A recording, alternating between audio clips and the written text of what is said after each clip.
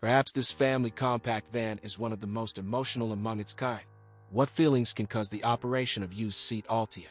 Emphatically dynamic appearance with a graceful wave on the side walls of the body, expressive elongated eyes of the front optics and the smile of the air intake in the front bumper. Own driving performance. This is the recipe for cooking a peppered Spanish dish for family motorists called Seat Altea. This model is presented in three modifications.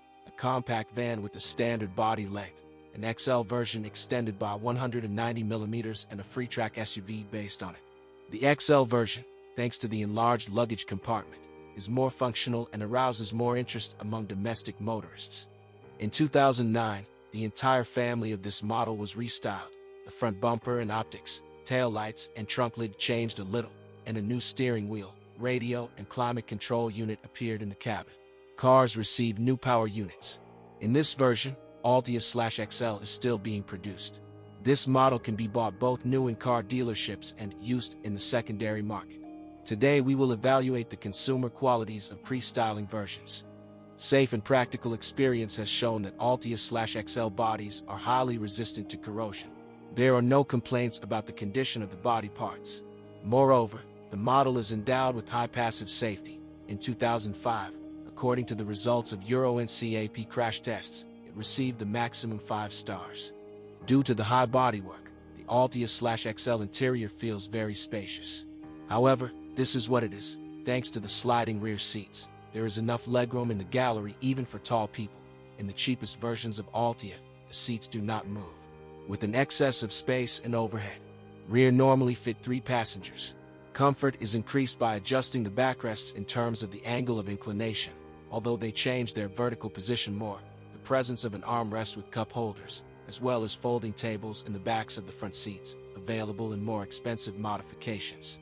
The top pseudo off-road versions of the Freetrack will also please with rich equipment. A long ceiling niche with many opening pockets for small things and a folding rear DVD screen.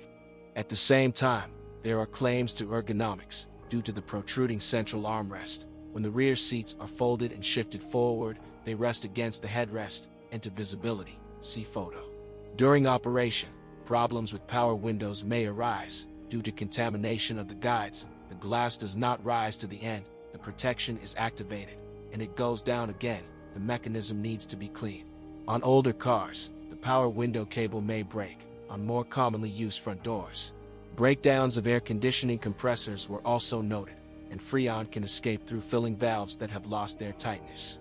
Altea and XL are the same in front, but in the back they can be distinguished by optics. The first has a short one, only on the wings, the second has a long one, goes on the trunk lid. Three petrol and two diesel units are offered for the Altea slash XL. The former are more common, although diesel versions are not uncommon. Of the gasoline engines, the most powerful 2.0-liter turbo gasoline engine, 200 horsepower, which was equipped with the free-track versions, received the least distribution. A 2.0-liter TDI was also offered in Western Europe. The 2.0-liter turbo petrol engine, borrowed from the charged models of the VW concern, Golf GTI, Leon Cupra, Octavia RS, gives the family compact car remarkable dynamics, accelerating it to the first 100 in just 7.5 seconds. This unit turned out to be trouble-free. It endures the increased loads of some excessively active free-track drivers. There are no comments to the base gasoline engine 1.6 LMPI, and its atmospheric counterpart 2.0 LFSI can cause trouble. So, due to the quality of our fuel and the untimely replacement of spark plugs, failures of individual ignition coils were noted.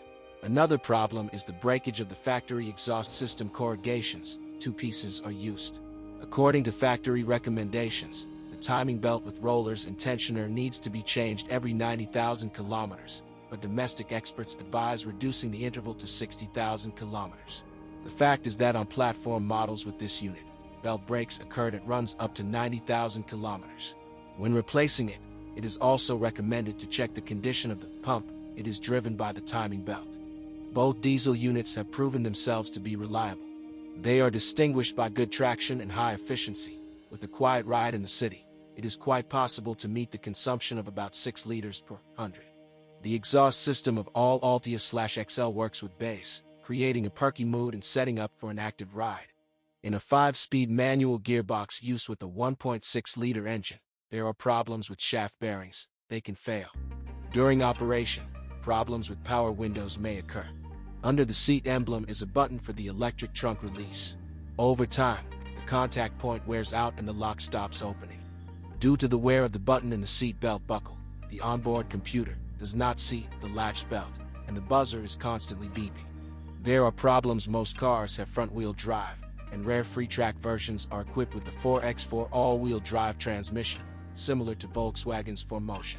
It uses an electronically controlled Haldex clutch, which is blocked when the front wheels slip, transferring up to 50% of the torque to the rear. In general, the 4x4 transmission is reliable. For Altea-XL, mechanical gearboxes, Tiptronic, automatic, and robotic mechanics, DSG, are intended, the least common. Of the mechanical gearboxes, a unit with five stages can create problems. It is possible for the shaft bearings, more often the secondary, to fail in it. The malfunction is manifested by increased noise during operation of the unit.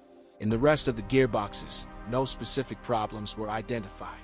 In a transmission with the DSG gearbox, used in tandem with the 2.0-liter turbo diesel, there are troubles with the dual-mass flywheel, which can wear out prematurely.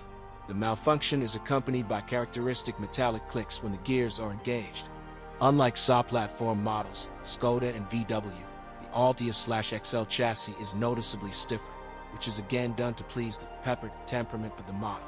This is achieved through the use of more rigid gum, suspension, and shock absorbers. Thanks to these settings, driving this compact van actively is a pleasure. Car obediently tumbles into turns even at a decent speed and allows you to accurately maneuver during quick lane changes without dangerous rolls of a high body. Structurally, the suspension is similar to other VW models. McPherson is used in front, and a multi-link in the back, three levers per wheel. Another advantage of the running is a good resource.